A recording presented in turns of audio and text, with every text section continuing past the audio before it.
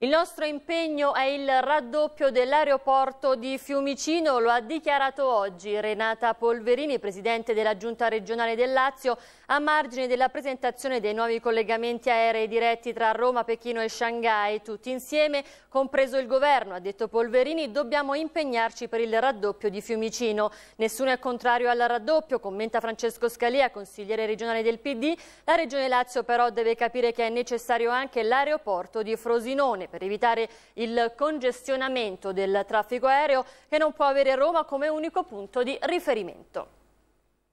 È lutto ad